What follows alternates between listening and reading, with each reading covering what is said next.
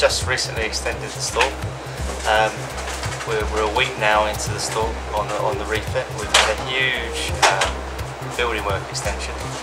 Um, we're originally, it was 40 years this year for the family business.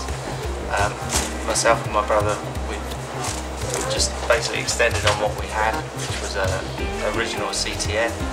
Um, we put a huge amount of chill, chill space in and extended our grocery range. This, increased our chill range by about 100% in, um, from the old store.